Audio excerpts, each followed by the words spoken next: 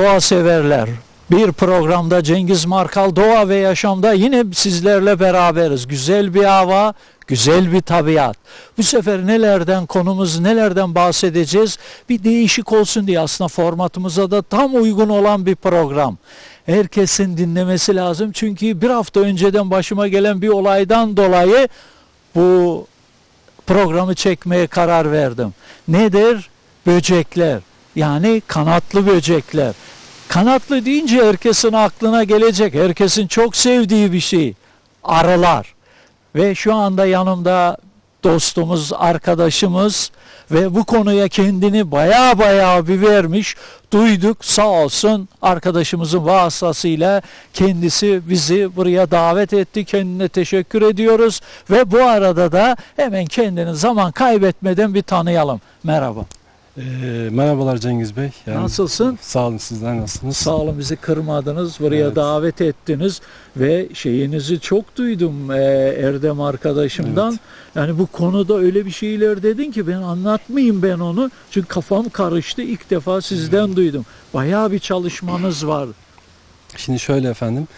Yani güzel bir e, pazar günü. Yani ilk öncelikle hoş geldiniz Sağ ol, yerimize. teşekkür ederim. Şu anda biz İstanbul Beykoz'daki yerimizde sizi ağırlıyoruz.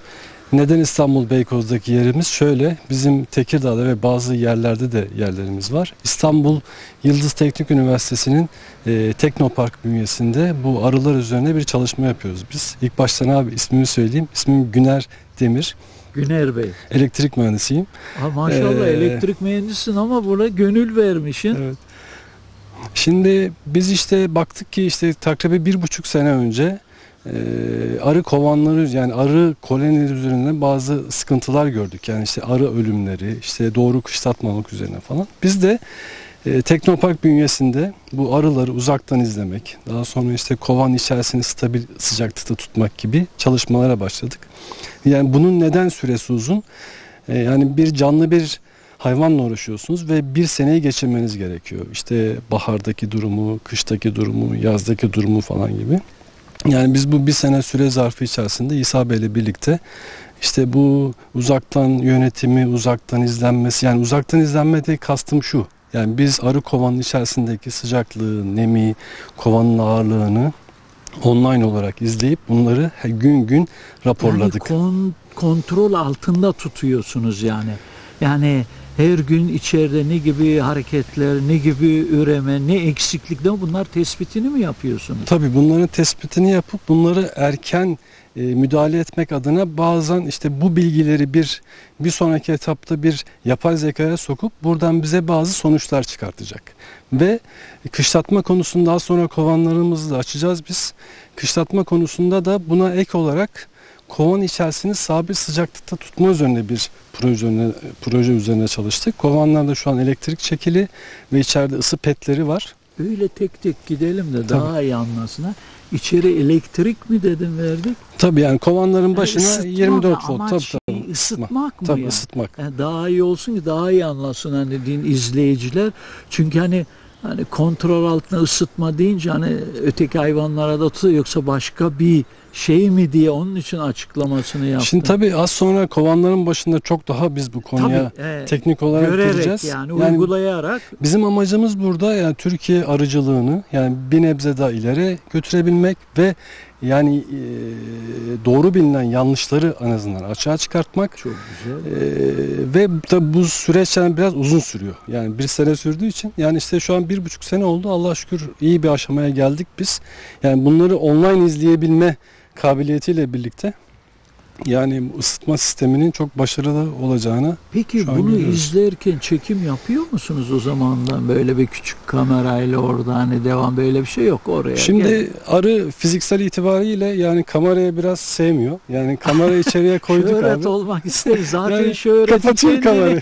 kendine yetiyor şöhreti Evet. zaten. Aranın şöhreti kendine yeter. Şöyle abi içeride işte sensörler var. İşte sıcaklık, Ha. nem sensörleri var. Biz bu sensörlerden online GSM üzerinden bilgi alıyoruz biz. Yani bunları an an bunlar sürekli e, loglanıyor bunlar. Ha, not altına Tabii alıyorsunuz. yani bunlar sürekli kayıt altına alınıyor. İşte geceki hareketleri, gündüzki hareketleri falan gibi. O noktadan bayağı bir çalışma yaptık İsa Bey. Yani Evet. şey İsa O- Bey de kendisini tanısın. Bu da İsa Bey'di değil mi? Evet, İsa Sizi Özdemir. Ee, İstanbul Beykoz'da ikamet ediyorum. Ee, yaklaşık 14 senelik e, arıcılıkla uğraşıyorum. Ee, üniversite mezunuyum ama bu dede Ne mesleği öyle söyleyeyim böyle? yani. Şey artık üniversite okuyan da hep böyle doğayla ilgili yani benim hoşuma gidiyor. Hep doğayla ilgilenmek çok bir şey. Hobi gibi mi başladı? Yani e, aslında dede mesleği. E, dedem Dede. Rizeli olduğu için dedem arıcıdır. E, oradan biraz merakımız var. E, ama zaten e, 2019'da pandemide de gördük ki gerçekten hani evlere kapandığımızda üretimin çok önemli bir şey olduğunu bir kez daha anlamış olduk yani. E, çünkü hani e, hiç kimse dışarıya çıkamadığı zaman, gıdaya ulaşamadığı zaman en azından hani isteriz ki kendimiz üretelim, bir şeyler yapalım falan böyle. E, Tabii böyle güzel Biz- bir doğanız var sizin. Evet evet çok şanslıyız. Yani İstanbul'da olup da zaten şanslı olanlardanız yani. böyle bir arazi herkese de Kesinlikle, olmaz. Değerini kesinlikle. bilin Çok yani. çok çok haklısınız. Ee, Hadi şükrediyoruz abi. Evet. aynen şükrediyoruz. Biz peki bu arada şimdi e, şey hocam mı diyeyim ne diyeyim artık bu konuda? Yani şimdi şöyle e, arıların yanına mı gideceğiz ne yapacağız? Evet arıların yanına Siz gidelim. giyinmişsiniz böyle. Ee, bu Size de ne? gideceğiz. Ee, biraz da doğayadayız. Konsepte uygun olsun dedik. Kamuflaj maskelerimizi giydik. Size de getirdik. Ee, zaten her ne kadar e, can şey arılarımız sakin olsa da biz karnıyol ırkıyla çalışıyoruz. Ee, sakin olsa da bir canlıyla çalışıyoruz. Hani bazen eşek saatiyle eşref saatine denk gelebiliriz. Ben onu Onun için- ben, ben delik deşik olman Onun için e, ekipmanlarımızı yanımıza alalım. e, giyinelim. Tamam. Gidelim. Orada hem e, yapmış olduğumuz Güner Bey'in de anlatmış olduğu çalışmalar hakkında daha detaylı bilgi veririz kovanların Tabii, üzerinde. görsel görüntülerini alalım hem de orada anlatır hocamız bize neyi ne Evet, yani. Neyi amaçladığımızı falan orada daha e, net bir şekilde anlatırız. Buradaki e, amacımızın ne olduğunu e, şeyini hepsini doğru bilinen yanlışları e, yani bir seneyi aşkın bir şekilde test ediyoruz zaten. Gördüğümüz eksiklikleri, e, artıları, şeyleri falan orada konuşalım. Tamam hemen bu arada da sayın izleyiciler eee, yani biz geleceğiz diye sağ olsunlar bize özel daha paketten yeni açmış bunlar. Hiç giyilmemiş yani. Bize de sağ olsun. Biz de onları bir deneyelim üzerimize giyelim. Hakikaten doğru. E, tedbir almakta yarar vardır. Biz alışık olmadığımız için onunla biraz da alışıktır. Hı hı. biz yine tedbirimizi alalım. Yavaş yavaş kovanlara doğru gidelim. Hadi. Doğru mu? Tamam. Tamam. Evet arkadaşlar şu anda gördüğünüz gibi elbisemizi giydik. Hayatımda da ilk defa giydim. Hani konsepte de çok uygun.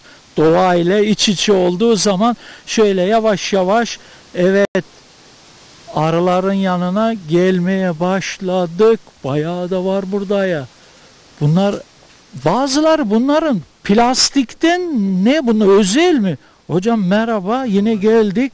Hoş geldiniz tekrar. Ee, şöyle yapalım. Şimdi Cengiz Bey şöyle biz bu kovanlardan tabii bu bir proje kapsamında olduğu için birçok kovan etkilerini de ölçüyoruz. Yani burada ahşap kovan da var, plastik de var, poliüretan da var, köpük de var.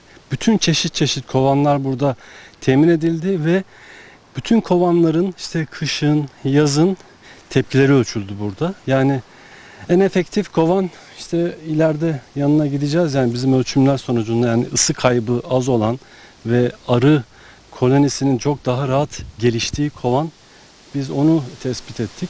O da yeni bir kovan çalışması oldu orada. Evet. Onun yanına bir gidelim. Oradan hem arı açarız oradan. İçerisine He, bakarız. şu alttan doğru mu alalım böyle? Buradan üstten gideriz. Yani burada kovanların maksadı yani çok He, çeşitli olmasının maksadı. Dedim, bu şu dediğiniz ne? Elektrik dediğiniz bu mu? Ne bu? Evet. Şöyle buradan bir 24 volt DC gerilim geliyor ve buradaki bütün kovanlara bu kablolar çekildi. Tabii bir sonraki etapta bunlar güneş paneli de yapılabilir. Yani bizim burada imkanımız Ha, olduğu için e- enerji Tabii. diyorsun. Çok gidiyor Test mu amaçlı. elektrik bunlara? şöyle diyeyim ben size hani burada grafen teknolojisi kullanıldı ısıtmada. Grafen teknolojisinde e, akım çok düşüktür. Yani işte bir kovanı ısıtmak için işte 24 voltta 60-70 e, miliamper kafi. Yani bu 0.07 amper yapar bu. Yani çok e, düşük bir e, akım bu. Yani hem bir kütleyi ısıtırken hem de bir yandan da tabii bunun enerji sarfiyatını da düşünmeniz gerekiyor. Çünkü yani burası şeyde arazi yani burası. Yani istediğiniz gibi enerji bulma şansınız yok burada. Bunlar da düşünülerek yani başka yurt dışındaki gördüğümüz kaynaklarda ısı petleri kullanılmış. Biz burada grafeni biz burada öne çıkarttık. Yani hem e, düşük enerjiyle e, ısı kaynağı burada elde ederek yani ısıtma konusu o şekilde.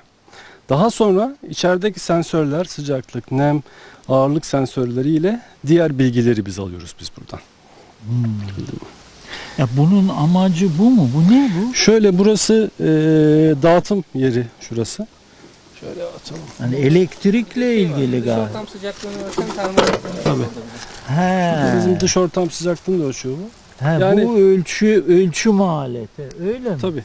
Yani buradan dağıtım yapılıyor. Şimdi aslında burada çok küçük bir meseleden bahsedeyim ben. Şimdi burada bizim elektrik tabiriyle e, PID dediğimiz bir mantık var. Yani e, yurt dışında baktığımız zaman biz bu bazı kişiler de kovanın içerisinde ısıtmışlar.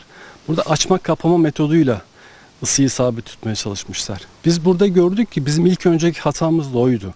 Yani kovanın içerisinde stabil sıcaklıkta tutmak için işte e, ısı kaynağını kapı kapatıyorsunuz. Kapattığınız halde ısı orada yükseliyor ve sıcaklık grafiğinde biz ivmeler çıkmalar biz orada gördük. Dedik bu metot yanlış. Evet. Biz ondan sonra içeriye bir tane elektronik kontrol kartı tasarladık. O ısı kaynağının yanına. Oradaki sensör vasıtasıyla ısı kaynağının gerilimini ayarlıyoruz biz burada. Yani kapatıp açma metoduyla e, kütleyi ısıtmıyoruz. İşte 24 volt var. İşte sıcaklık yükseldi. Onu 17 volta, 15 volta, 10 volta düşürüyor ve sıcaklık grafiğine baktığımız zaman tam stabil bir sıcaklık oluyor orada. Ve arının istediği kovan içerisindeki sıcaklık 35 santigrattır.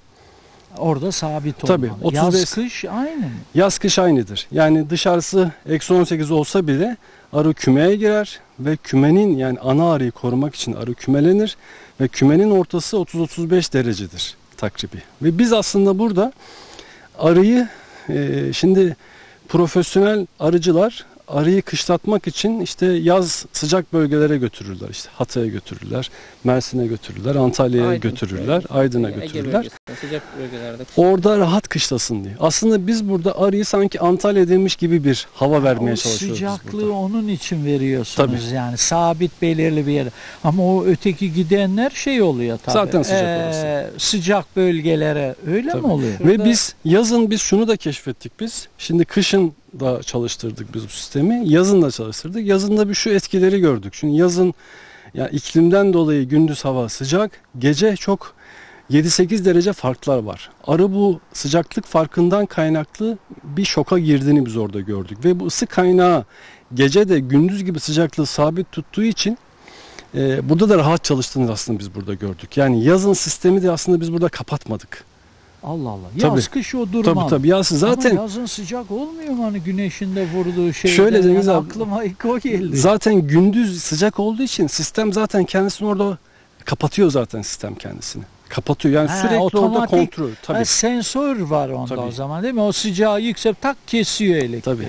He anladım. Orada sensör var ve kesiyor. Yani yazın gündüz sorun yok ama gece sıcaklık düştüğü için orada yani yani gece gündüz arı sonucunda çalışıyor. Tabii. Yani gece yani bizim gibi arı yatmıyor ki yani, yani uyumuyor. Ama ben bir şey okudum da hani dediniz oradan aklıma geldi şimdi. Akşam öyle bir bakayım dedim. Arılar gece uçmuyormuş genelde. Tabii. Şöyledir. Mevzu şudur aslında. Yani bir sosyal bilgi açısından arılar sabah ezanıyla birlikte çıkarlar.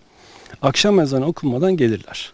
Yani bütün süreç öyledir. He. Yani, Yani- güneşi takip ediyor aslında. Güneş Yönünü aslında. buluyor kovana. Bir de bir şey güneş- öğrendim. E, bu arada e, sağ olsun o da kameranın arkasında Erdem arkadaşım.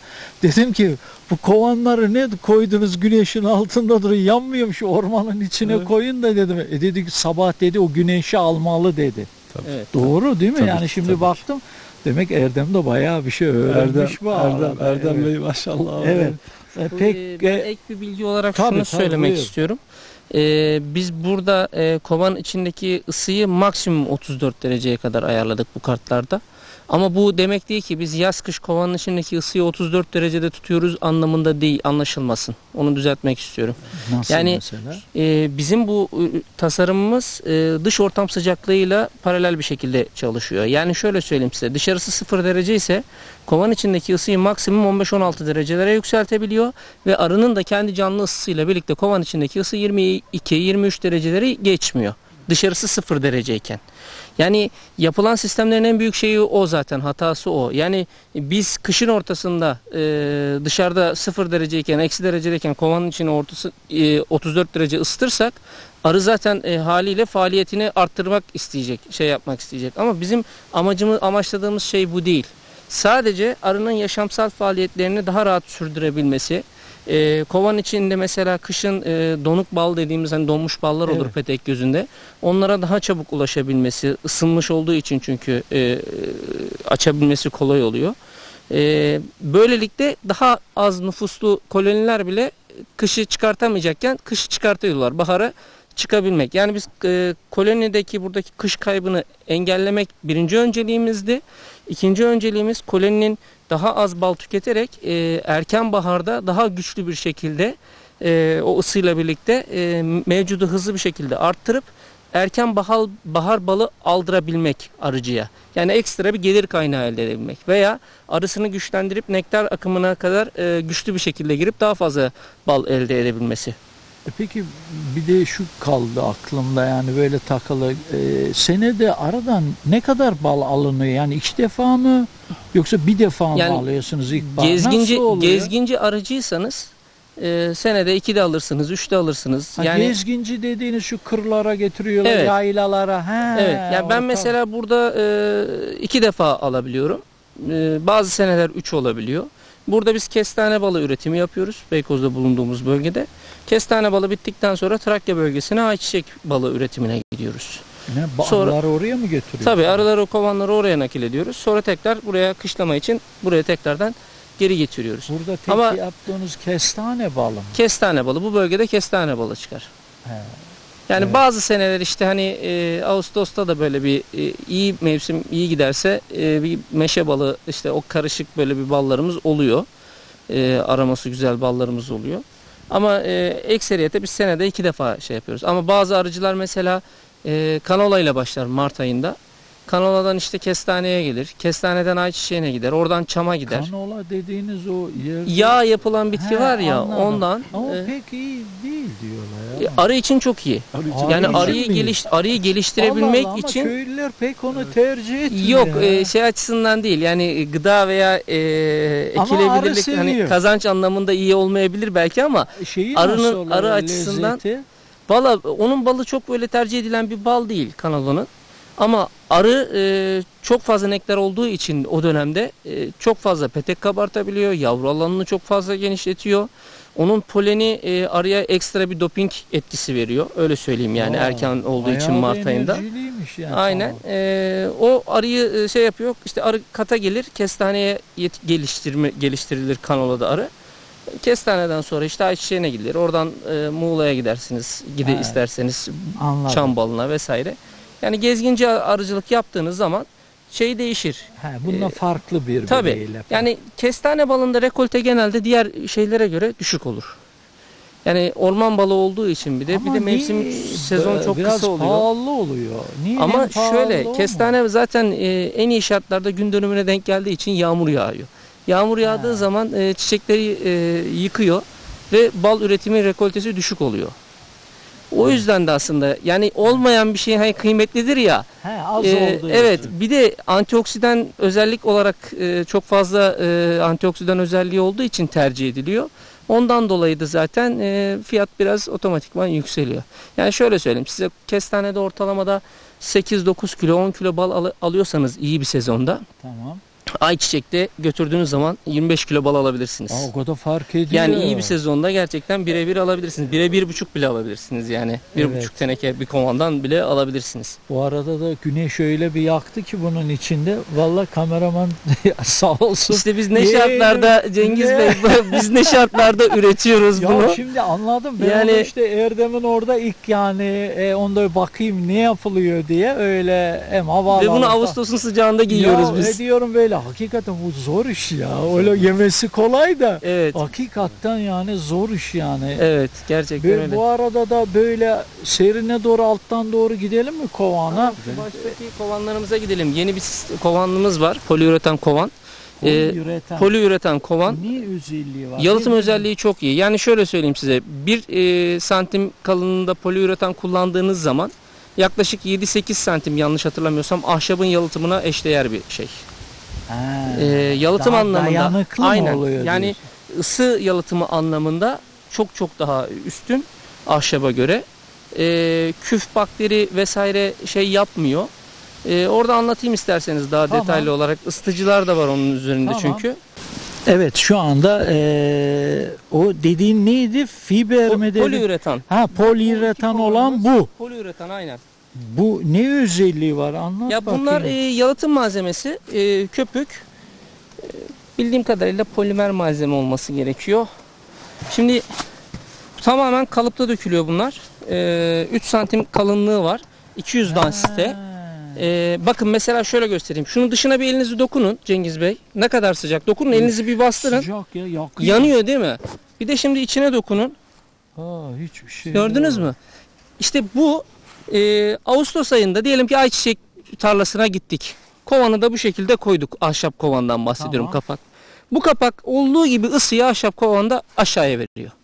Aşağıya verdiği zaman da arı e, bazen görmüşsünüzdür belki dışarıda salkım deriz böyle. Evet böyle E, asılıyor. oğul aşağı. salkımı gibi e, asılır kalır. Çünkü içerisi çok sıcak olduğu için içeride çalışmaya alan yok sıcak.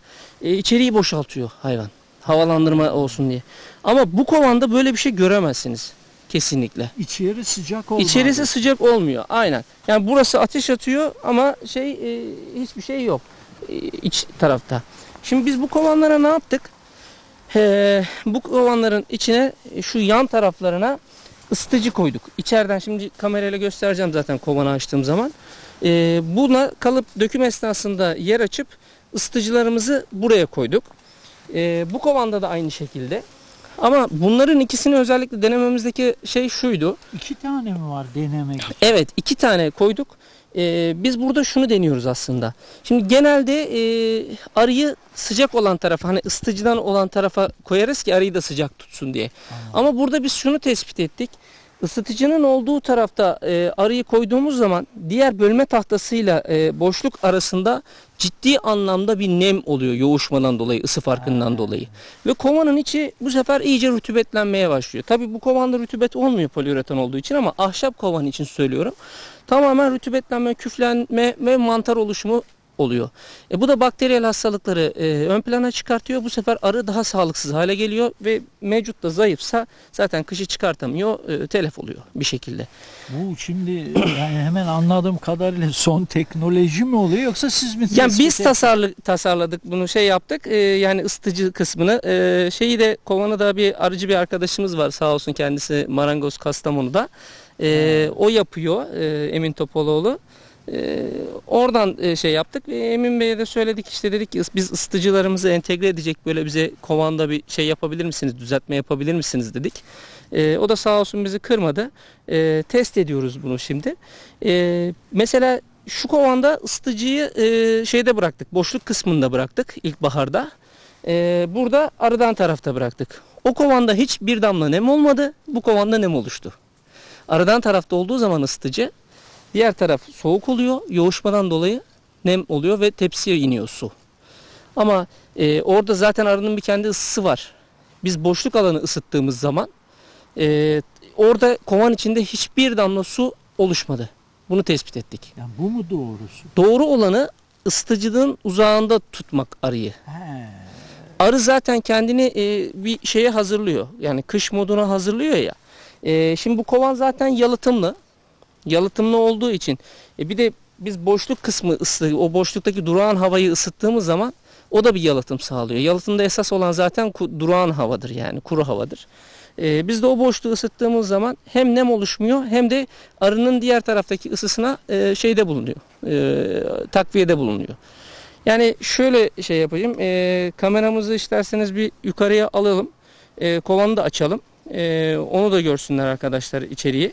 Ha, Oradan Ee, çekemeyiz miyiz? Oradan bunları gösterme şansımız yok. Ha, bu Ee, arka tarafı. Ha, tepsilerin Tamam. içinde bizim şeylerimiz var. Nem ve sıcaklık ölçerlerimiz var. Şimdi onları da şu- göstermiş al, olalım. Şuradan çekelim ki ışık ters olmasın. Evet. Evet ne Şimdi- yapıyoruz şimdi? Bu kovan tepsinin içine biz şeyleri yerleştirmiştik buraya. Ha, bu mu? Şurada gösteriyorum. Bu ısı ve nem ölçer aslında. Böyle Şurada gördüğünüz gör- görülüyor mu bilmiyorum da 35.8 derece şu anda sıcaklık var. %61'de nem var bu kovanın içinde. Yani kuluçka faaliyeti olduğu dönemde zaten %60-65 nemin olması istediğimiz bir şey. Yani kışın nemi istemeyiz biz kovanda. Çünkü yavru faaliyeti olduğu zaman e, nem olmak zorunda bir miktar. Şimdi bizim asıl şeyimiz şu burada e, göstermek istediğimiz şu. Şimdi burada arımız zaten bizim hali hazırda mevcut bir şekilde duruyor. Bizim ısıtıcımız bu tarafta. E, biz arıyı ısıtıcıdan uzak tarafa şey yaptık. Şimdi şöyle kaldıracağım. Arkadaşımız da bir zoom girerse şurada Zaten alıyor onu yakından. şurada alıyor. gördüğünüz bir levha var. Alüminyum levha. Ha gördüm köşede. Evet. O levha bizim içe, iç- levhanın iç tarafında ısıtıcılarımız var zaten. Devre kartlarımız var, sensörlerimiz var. Kontrolü onlar sağlıyorlar. İki tarafında da oluyor İki mu? tarafında yok. Konabilir mi? Konabilir. Ama e, biz burada şunu düşündük. E, çok fazla zaten amacımız ısıtmak değil. E, bir de e, biz bu sistemi evet benim burada şu anda aralığımda şebeke sistemi var. Elektriğim var. Ama dağda bayırda güneş paneliyle kullanabilmesi için arıcının e, minimum seviyeye çekmemiz gerekiyordu. Çek kullanabildiği akımı. Onun için tek ısıtıcı koyuyoruz ve kovan da yalıtımlı olduğu için zaten yeterli geliyor. Şu anda gördüğünüz sıcaklık zaten 35.8 e, derece. Bunları mı açıp bakıyorsunuz böyle? Yo bunlar test amaçlı koyduk biz online amaçlı hem de burada manuel olarak görüyoruz biz zaten. Şeyin üstünde şeyin üstünde e, on- online izleme kartın üstüne e, entegre online izleme şeyleri var. Yani bazı kovanları online olarak e, takip edebiliyoruz biz internet üzerinden. E, Ha, sistem bunlar bu şekilde. internet üzerinden takip mi ediyorsun? Tabii online olarak izleniyor. Vay, ne teknoloji bu ya. Aralığı da artık uzaktan kumanda edeceksiniz Yani araba gidiyor. e, şey önemli olan husus işte e, bazı şey diyorlar işte arkadaşlarımız diyor ki arıcı arkadaşlarımız ya arı zaten üşümez. Evet arı üşümez diyor işte e, arıyı ısıtmanıza gerek yok diyor veya ıs- kimisi diyor ki ısıttığınız zaman diyor bu kovanlar diyor hep arı diyor dışarı çıkar diyor. E biz bunların testlerini hepsini yaptık. Yani geçen sene Mart ayında burada 25-30 santim kar varken e, hava sıcaklığı da 3 dereceyken kovanın içi 22 dereceydi. Arı dışarı çıkmıyordu. Baktığım zaman Gayet bir tane öyle. arı dışarı çıkan arı görmedim. Çünkü e, hayvan kapının önüne çıktığı zaman dışarıdaki soğuğu algılıyor. Algıladığı zaman da diyor ki içeriye haber veriyor. E, İşte hava şartları uçuşa elverişli değil. Kalın içeride. Evet. Yani bunlar işte doğru bilinen hani yanlışlar dediğimiz mevzular var ya. Ee, diğer husus mesela diyorlar ki işte siz bu arıyı ısıtıyorsunuz. Ee, arının işte salkıma girmesi lazım, dinlenmesi lazım. İşte arı ölür, daha erken yaşlanır filan. Şimdi e, şöyle bir şey var. Arı salkıma girdiği zaman salkımı ısıtabilmesi için kanatlarını çırpması gerekiyor. E, kanatlarını çırptığı zaman zaten arının ömründen gidiyor. Ama biz kovan içindeki ısıyı arıyı salkıma sokmayacak e, derecede tut- tutulduğu için bu sistemde arı zaten salkıma girmediği zaman normal gidiyor balını yiyor kendisini ısıtıyor zaten kovanın içi de sıcak. E, şey yapmasına gerek olmuyor. Ekstra bir efor sarf etmesine gerek kalmıyor arının. Yani teknoloji sayesinde onu da çözdük. Kesinlikle yani şöyle de bir şey var. Mesela arı salkıma giriyor sürekli bal yiyor kovanın içini ısıtabilmesi için. Ama biz ısıttığımız zaman balığı yemiyor az tüketiyor. Biz bunu bir kere çok net gördük. Kovanlardaki bal stoğunun çok büyük bir fark olduğu. Yani ısıtıcı olmayan kovanlarla ısıtıcı olan kovanlar arasında e, çok daha az tükettiğini ısıtıcı kovanların e, onu tespit ettik yani. Net olarak söylüyoruz. Şimdi hepsini mi böyle yapıyorsunuz? Ne yapıyorsunuz? Tabii bir kısmını deneme grubunda ısıtıcısız olarak bırakıyoruz. Bir kısmını ıs- ısıtıcı koyarak bakıyoruz. Bakıyorsun. Bayağı gördük. Plastik var, ahşap var. Spor var, ahşap Bir var, de- bir de poliüretan kovanımız var. Yani dört çeşit mi var? Ee, evet. Şey dediğimiz bizim sabut dediğimiz şeyler de var. Yani ahşap ahşap e, evet hani doğal mı doğal ama ahşaptaki e, şey tamamen e, bakteri üremesi çok kolay ahşapta. Yani ahşap kovanda nemi yok edebiliyorsanız gerçekten ben bu kovanda hiç nem ya olmuyor e, bırakmıyorum yok edebiliyorsanız evet ahşap kovan çok sağlıklı. Ama ahşap kovanda siz nemi uzaklaştıramıyorsanız en tehlikeli kovan ahşap kovan. Orada bir tane saçlı mı var? Ne o saycı? O şey e, kara kovan dediğimiz e, yarım ay şeklinde kapağında saç var alt tarafında saç var içi şey ahşap. Onlar da Ahşap, kara bu kovan var, olarak. Hı hı. Öyle bir iki tane e, Şey Karadeniz'de yoksa? olduğumuz için kara Hani merakımız şu da var. anda da diyelim ki şey çakmasından değil değil mi? Yok değil. değil. Bir de peki şeye geleyim. Aslında onları son e, kapanışta onları konuşmak istiyorum da. Mesela böyle e, bazılar balı hep alıyor. Hı hı. Hani olmayınca ha, e, hayvanda ne yapıyor arılar? E, yiyecek bir şey bulamıyor. Hava şart. Bu sene de dikkat ettim. Ben hiçbir yerde pek randıman alamadılar. Hava şartla, doğanın şartlarından dolayı. Ya ben bunu çıkarabilir miyim? çıkarsın. Olur. olur. Ya bu artık Yardım bunu alım ediyorsun. geçireceğim. Bu arada da arkadaşlar ya, ko- of hayat varmış ya. Vallahi bu zor iş. Yani Valla su gibi oldu. bugün hava sıcak değil Cengiz Bey. Yani Vallahi ne şartlarda üretim yaptığımızı anladınız değil mi? Vallahi bu zor iş ya. Evet. Ama siz de bayağı baktım hiç duymadım. Profesyonelce yapıyorsunuz yani bunu. Yani bu teknik bu şeyi ben ilk defa sizden duydum yani bu olayı. Yani e, birilerinin uğraşması lazım. Yani sağ olsun bizim Yıldız Üniversitesi'nin Teknoparkı da bu konuda çok ciddi bize destekler oldu. Yani yani şey oradaki hocalarımızla da biz bunu yani istişarelerini yapıyoruz. Evet. İşte Beykoz ilçe e, tarımdan kıymetli hocalarımız var. Onlarla birlikte yani e, kafa kafaya verdiğimiz zaman güzel sonuçlar çıkacak inşallah. Evet. Buradan da hava girsin biraz. şey, e, bu bal verme olayı, şeker verme olayı nedir? Kim anlat? Sen mi anlat? Ya şöyle söyleyeyim, e, arıya e, kesinlikle hani şeker vermiyorum derse biri Yalan. doğru söylemez. Yani Ha, böyle Arıyı- ya. arıyı besleyeceksiniz. Ama bana şunu sorun. Senin balında üretmiş olduğun balda şeker var mı diye sorarsan ben balıma güveniyorum. İstediğim yerde de analize, isteyen istediği yerde de analize sunabilir. E, benim balımda şeker yok. Şimdi bu arıyı geliştirebilmek için e, baharda besleme yapmamız gerekiyor.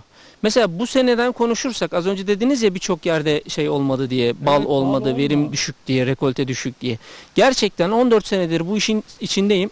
14 senenin en kötü senesi diyebilirim size Bu sene. bu sene için. Yani ne bahar doğru dürüst arı gelişebildi, ne son nektar akımında e, yeterli balı alabildi, ne şu anda.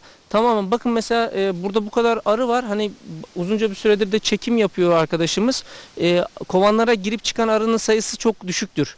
Aslında Baktım, kovanlarda evet. mevcut var ama e, arılar çalışmıyor. Niye çalışmıyor? Dışarıda bir şey bulamıyor hayvan. Kurak çünkü. Yani bizim bu bölge e, Marmara bölgesi bu sene ciddi anlamda çok e, kurak. Yani Trakya bölgesinde bile mesela geçen sene 650-700 kilogram dekar, dekarda e, buğday alınırken bu sene 300 350 kilograma düşmüş bu. Ciddi anlamda bir kuraklıkla e, baş ediyoruz şu anda etmeye çalışıyoruz. E şimdi bu şartlarda siz arıyı beslemezseniz ne olacak bu hayvan bir canlı? Zaman şeker veriyorlar. Tabii ki. Ya sırf şeker mi veriliyor? Ben Yani duyuyorum, görüyorum da. Cengiz şimdi- Bey size e, samimi olarak mayası, söyleyeyim. Yok bilmem. E, Erdem arkada duruyor konuşmuyor orada alacağım onu biraz sonra da. Yani gördüm bir şeyler karıştırdık onu besleyici neler mesela Yani vereler. şimdi Diyelim hakikaten vereceğiz. Yok, şöyle söyleyeyim size. besleyici. Şeker bunun içinde en masumu. yani- Masumu. En masumu. Yani şu açıdan söylüyorum.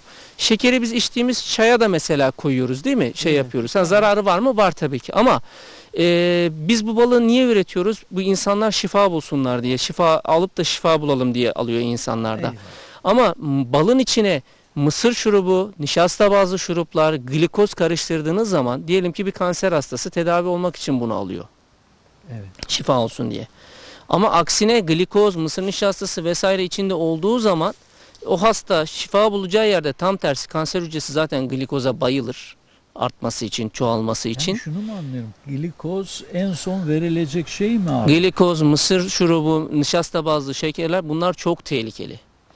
Yani sahte bal dediğimiz piyasada birçok şeyler bunlar var zaten. Ee, onun haricinde hani şekeri veriyorlar. Ama şekerin e, tabii ki insana da e, şeye zarar var. Tuzun da var, şekerin de zararı var. Ama e, bir glikoz kadar zararı, bir nişasta şeyi kadar, e, şurubu kadar, mısır şurubu kadar zararı yok. Onu söyleyeyim. Ha bu veresin anlamında değil kesinlikle. Onun da üstünü çizerek söylüyorum. Ee, bizim buradaki besleme şeyimiz arıyı geliştirmek, bala karıştırmak değil. Yani bizim bu dönemde burada Mayıs'ın 15'ine kadar biz besleme yaparız e, ilkbaharda. E, Mayıs'ın 15'inde işte e, Haziran'ın e, ilk haftası veya onu gibi zaten burada kestane, e, ıhlamur çiçekleri açmaya başlar. Biz Mayıs'ın 15'inden sonra herhangi bir besleme yapmayız. E, besleme yapmadığımız için de e, üst katlarda balımızı zaten aldığımız üst katlardan alıyoruz. Al, balımızı aldığımız e, kovanlarda da herhangi balımızda bir şeker kalıntısı vesaire bir şey olmuyor.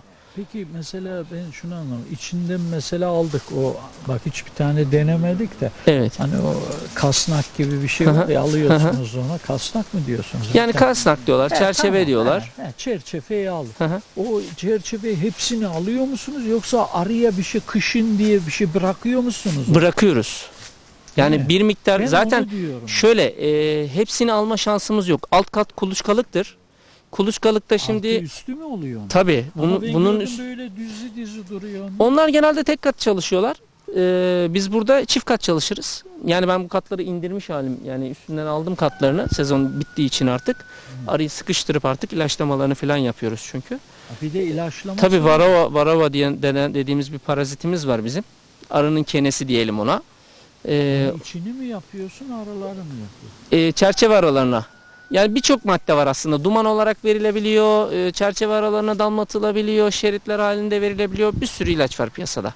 Öyle Allah söyleyeyim Allah, size. Bir de bakımı var ya. Tabii yani e, gerçekten meşakkatli bir iş. Bu ne ya? Ben- Gerçekten Şimdi çok meşakkatli bir iş. Yani hani o sofrada böyle Ama gelip de dediklerini herkes yapıyor mu Allah aşkına? ya? yani işte yapan kazanıyor, yapmayan kaybediyor. Öyle söyleyeyim size. Yapamayan e, şeker koyuyor. Şeker de koysa iyi yani. Yani e, şimdi bir yer ben şimdi şey söyleyeceğim belki be- bana kızabilirler ama e, inanın e, hani fiyatlar alıp gidiyor ya başını. Şekerin pahalandığına hiç üzülmüyorum.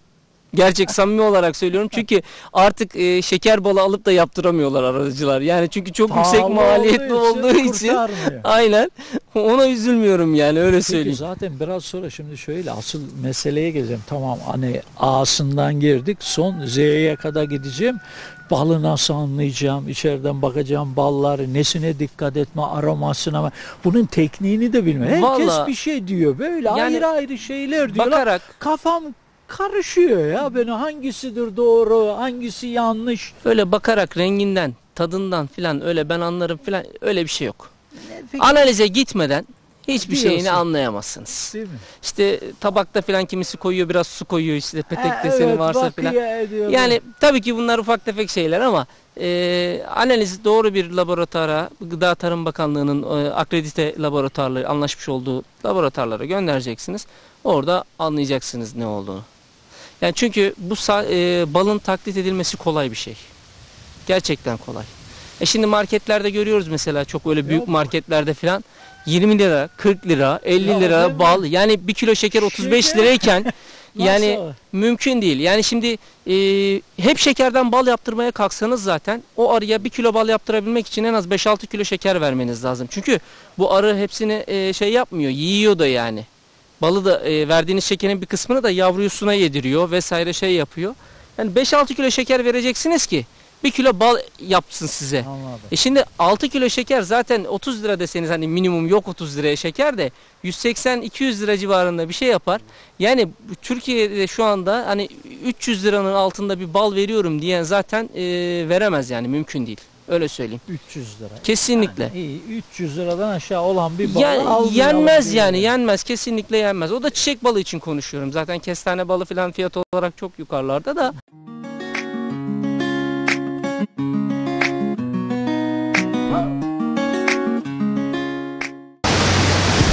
Evet izleyiciler ne yaptık?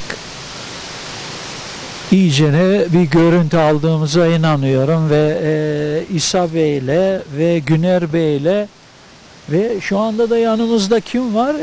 Bu da yabancı diyor. Bahsettiğim Erdem arkadaşım sağ olsun bizi hiç yalnız bırakmadı.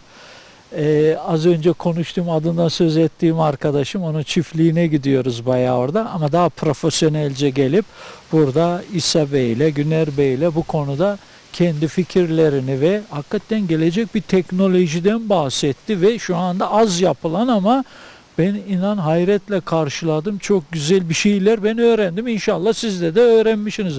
Evet şu anda buraya niye oturduk biz? Ee, asıl konuya geldik. Tamam ana evine girdik diyelim arıların. Şimdi bakalım o arılar ne veriyor? Propolis antibiyotiktir, doğal antibiyotik. Yani eee, bu bize hastalıkta kullandığımız antibiyotik ilaçlarımız var ya ondan Evet. 100 kat daha etkili doğal bir antibiyotik. Yani ham halde kullanımı pek bir işe yaramıyor. Yani eee, ham halde kullandığınız zaman kovandan kazıdığınız aldığınızda eee, onu vücut tam olarak sindiremiyor. Eee, ve eee, onun içindeki artık maddeleri de almış oluyorsunuz. Yani propolisin muhakkak ekstrakte edilmiş olması gerekiyor çözdürülmüş olması gerekiyor, saflaştırılmış olması gerekiyor. Ondan sonra tüketime sunulması gerekiyor.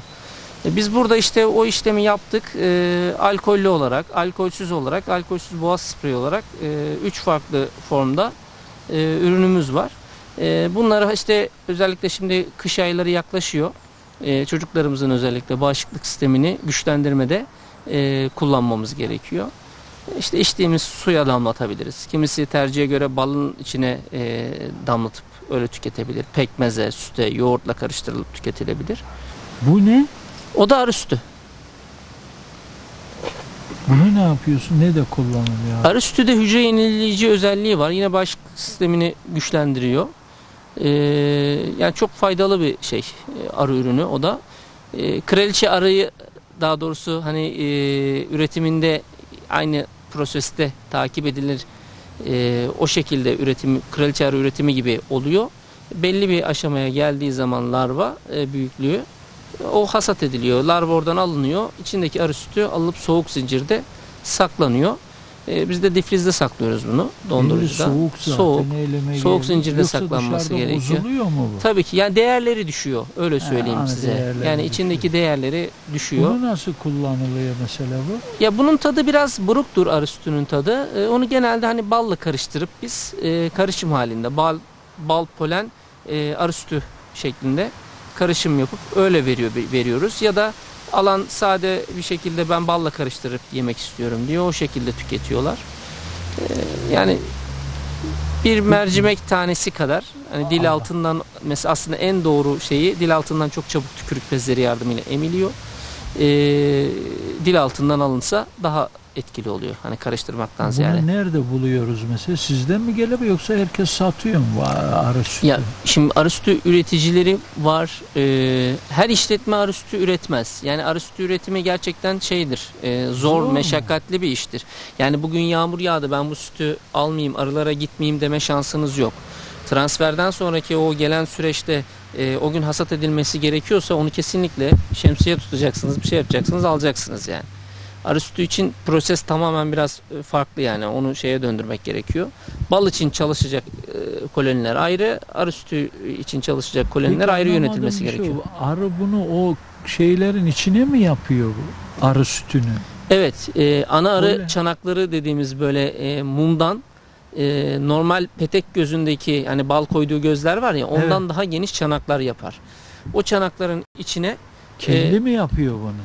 Şimdi kendi şöyle yapıyor. Eğer arı e, doğası gereği oğula giderse, oğul deriz biz, oğul arı verecekse, oğul verecekse e, kendi o çanakları yapıp ana arı içlerine yumurtluyor e, ve arı sütüyle besliyorlar sonra kapatıyorlar. Eğer almazsanız kraliçe arı çıkıyor oradan.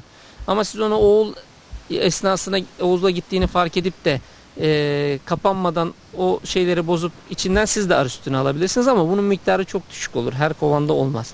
Ama arı sütü üretimi için proses e, anasız koloniler oluşturulur.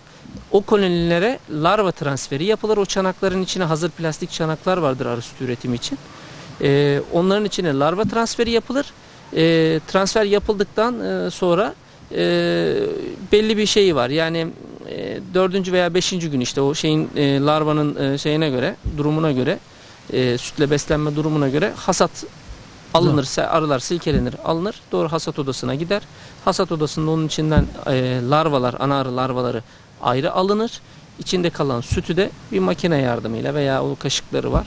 E, manuel olarak o şekilde ayrılır. Soğuk zincirde direkt doğru saklamaya götürülür. Yani uzun süre kullanılmayacaksa soğuk zincirde, zincirde saklanması gerekiyor. Ama günlük olarak tüketilecekse dolabın artı 5 kısmında alt kısımda tutmak yeterli yani. Bunu arı devamlı üretiyor mu? Yani alınıyor mu yoksa Hayır az bir şeyi var. olsun? Az az öyle çok fazla üretilen bir şey değil.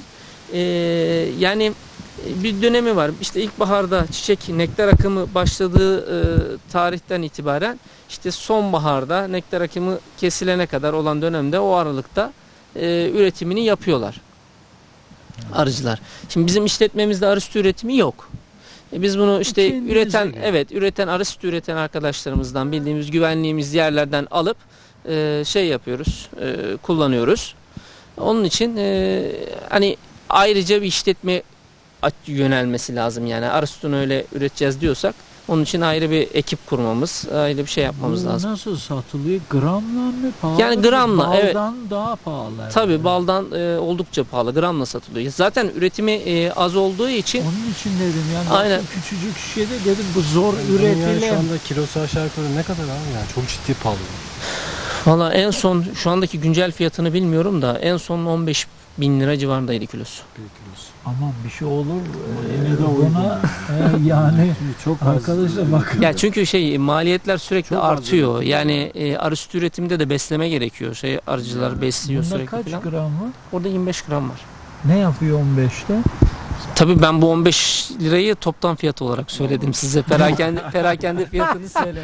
Yani arkadaşlar şimdi yani alırım desem yani düşün ne diyecek yani hazır olma 15'ten alamıyorsun bunu demek Yani istiyor. o, o, on- on be- 15'e e, toptan biz alabiliyoruz yani öyle söyleyeyim. iğne ucu kadar e, kovanda çıkıyor. Çok az çıkıyor. Bal Yok, gibi o- değil yani. Ya onun için dedim. O yüzden değerli bir şey belli aslında. Zaten, değerli Çok, e, olduğu burada- zaten hani bal koca bir kilo dururken Evet. ama bakısın gram 250 gram Yani. demek Evet. ki bunu bir de onun için mesela üretimi de zor bir Zaten şey. üretimi Evet. zor. Çoğusu Yani, e, girmez bile çok yani. fazla Çoğusu şey yapılmaz yani. E, sezonda üretilemez. He. Yani e, hani ortalama bir işletme sezonda kaç kilo üretiyor derseniz herhalde Türkiye şartlarında yani bu son zamanlarda arttı ama herhalde o 30-40 kilo civarında ortalama işletmeler. Daha yüksek üretenler de var tabii ki ama ortalaması Bunun da 30-40 kilogram. var mı? Valla yurt, dışı, Oluyor mu? yurt dışından getiriyorlar. Genelde Çin'den Var getiriyorlar.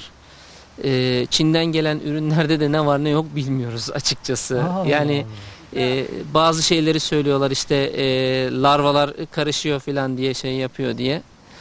E, içine pa- larvaları püreleyip öyle şey yapıyorlar diye.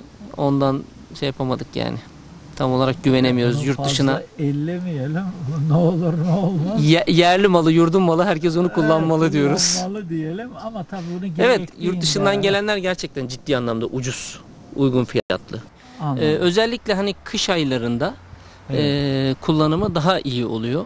Çünkü hastalıklar kış aylarında daha fazla görüldüğü için e, zaten hani arı ürünlerini sürekli özellikle propolis için söylüyorum. Sürekli uzun süre kullanmaktansa e, ara vermek daha iyi. Neden diyeceksiniz? Şimdi biz bağışıklık sistemini hep böyle güçlü tutarsak, şey yaparsak bu sefer dışarıdan gelecek mikroplara karşı aslında bir şey e, korumasızlık elde etmiş olacağız. Çünkü e, sürekli propolis'e destek veriyoruz, destek veriyoruz. E, zayıflatmaya başlayacak bir zamandan sonra. Arada mesela 6 ay kış döneminde özellikle yoğun bir şekilde kullanıp 6 ay gibi bir sürede ara verilirse e, fena da olmaz. Veya belli periyotlarda aralıklı aralıklı kullanılırsa fena da olmaz. Yani böyle hani sürekli kullanılsa bir zararı olur mu? Kesinlikle. Dediğim gibi ama sadece bağışıklık sistemini çok e, tembelleştirmemek açısından e, ara ara böyle şey bu küçük boşluklar vermekte fayda var yani. Şimdi ben orada başına dönmek istiyorum. da Oradan kafama takıldı da dedik yani e, şeker verin. Hani en kötü en iyisi o dediniz. Doğru mu? Kötünün kötülerin en iyisi. En iyisi şeker. Şeker olmasa ne koymak lazım? Balını mı bırakmak lazım Türkçesi? Tabii.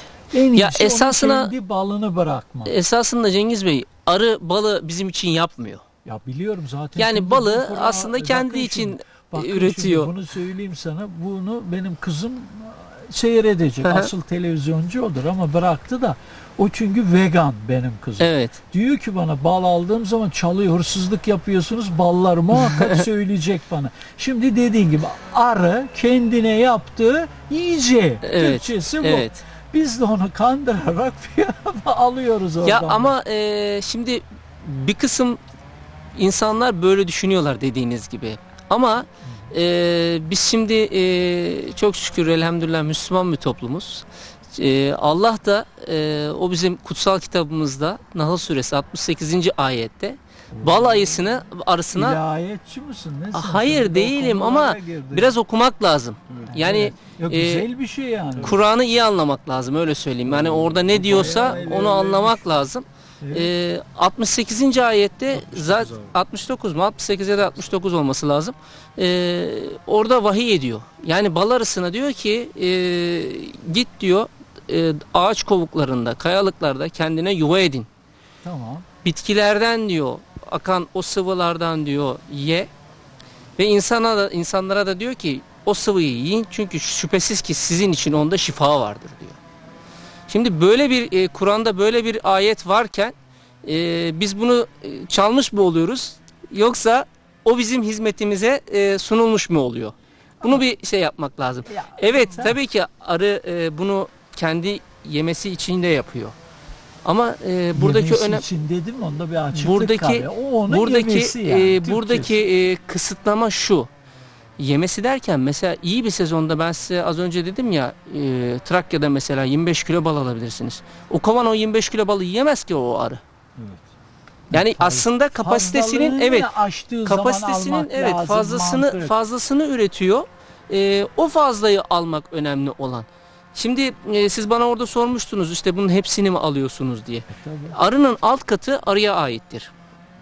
Yani Ama kuluçkalık dediğimiz kısım o kısım arıya kısım aittir. koyuyorsunuz ya Evet. kafesler mi diyorsunuz? Evet, çerçeveler, Çıtalar, he, çerçeveler.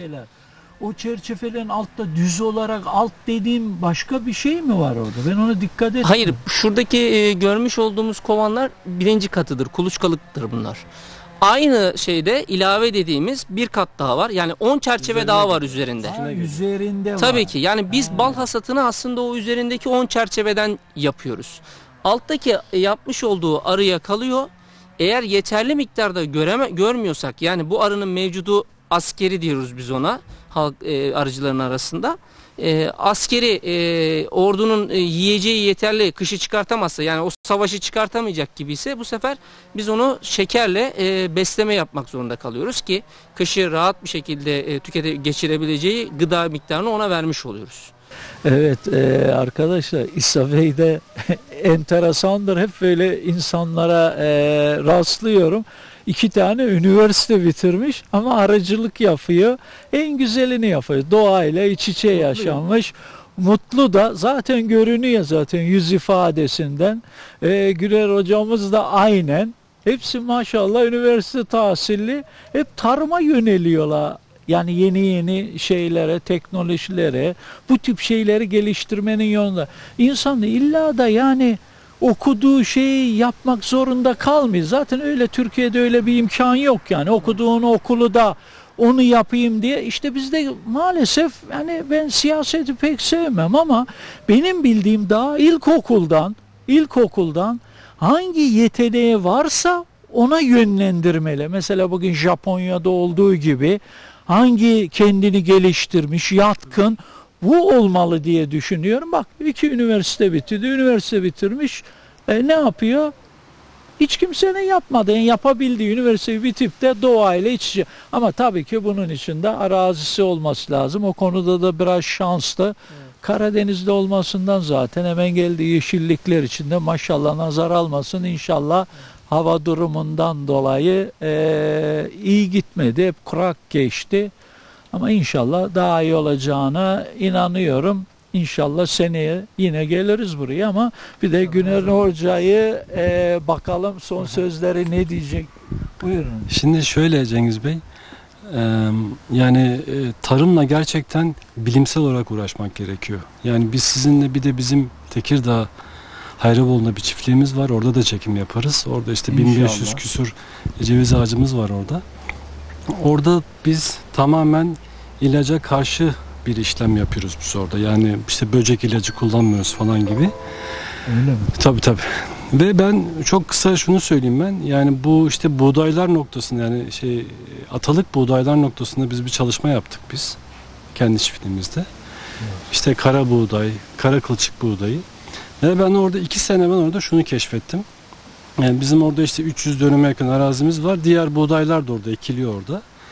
Ben bir arazimize yani 10 dönüm kadar bir arazimize işte kara kılçık buğdayını orada biz ektik. Bu bir atalık cins buğdaydır. Ata buğday. Tabii ata buğdayıdır o. Biz ektik buğdayımızı ve hiçbir şekilde sunlu gübre biz ona atmadık. Doğal. Doğal haliyle biz onu ektik. Daha sonra hiçbir şekilde ilaç da biz ona atmadık. Gözlemlediğimiz süreç bize şunu gösterdi. Diğer buğdayı da biz ekiyoruz. Şimdi kapitalist sistem üreticiyi bir şeye itiyor hocam. Yani çok fazla üretim lazım. Çünkü ihtiyaç var orada. Kara kılçık buğdayı, atalık dediğimiz buğdaylar az verim oluyor. Yani 600-700 kilo çıkartırken biz ondan 150 kilo çıkarttık. Neden oluyor bu? Şimdi bunun cinsi itibariyle işte bu sistem buradaki tohumlanları yani tohumları melezleştirmişler ve üretimi çoğaltmak için yani başaklar büyük büyük başaklar kalın kalın. Şimdi sıkıntı şu aslında. Siz bir tohumu melezleştiriyorsunuz. Başka bir tohum üretiyorsunuz ama bu ürettiğiniz tohum bu toprağa müsait değil. Toprağı kuvvetlendirmeniz lazım. Başaklar kuvvetli olması için. E, toprağı sunni gübreyle kuvvetlendirmeniz lazım. Sunni gübre atıyorsunuz. Ondan sonra bu başaklar da iri iri kocaman. Bu zararlılar aslında her zaman aslında var. Biz onu orada keşfettik. Yani şimdi arılardan komple alakasız bir yere girdik ama Yo, ama tarımın içinde, doğa ve yaşamın Evet. içinde olabilir bunlar. Aslında hepsi evet. birbiriyle bir bütün Ve yani. bütün onlar hep bütün doğru yani. biz şunu keşfettik orada. Yani o melezleşmiş olan tohum çok verim olduğu için zararlılara karşı kendisini koruyamıyor. Atalık buğday ektiğimiz yerde hiçbir süne ilacı olsun diğer ilaçlar orada atılmadı. Bu buğday az çıkarttığı için zararlara karşı kendisini korudu bu buğday. Anlatabildim mi? çok güzel. Ve ondan sonra işte biz orada işte eski usul bir taştan e, de- değirmen orada kurduk falan. Ondan un yaptık falan. Yani bu, bu hikaye aslında bambaşka bir çekim güzel konusu bir aslında. tes- Tabii. tespit. Yani Ama- inşallah gelir orada da bir program Yapabiliriz. çekeriz. tabii. Yani geldiniz buraya çok sağ olun. Teşekkür Ayağınıza ederiz. Ayaklarınıza sağlık. İnşallah arkadaşlar için de güzel şeyler. Oldu çok Üreticinin tehlikeli. sıkıntılarına dert oldunuz. E, Evet arkadaşlar e, Güner Bey, İsa Bey'e bizi ağırladılar. Sağ olsun e, Erdem arkadaşımın sayesinde İsa Bey'le Güner Bey'le tanışmış olduk. Sağ olun. Güzel bizi ağırladı. Çayımızı içtik. Şu doğanın, şu bahçenin güzelliğini, her şeyini tattık. Balları da tattık vallahi. İçimiz dışımız bal oldu zaten. Ama sağ olsun çok kaliteli hakikaten aroması yüksek bir bal. Ve burada sonlandırmak zorunda kaldık. İnşallah bir başka zaman yine bir program daha çekeriz diye devamı. Çünkü bunun sonu yok. E ne diyelim burada sonlandıralım. Haftaya başka bir günde başka bir programda görüşmek üzere. Hoşça kalın. Güzel doğada kalın.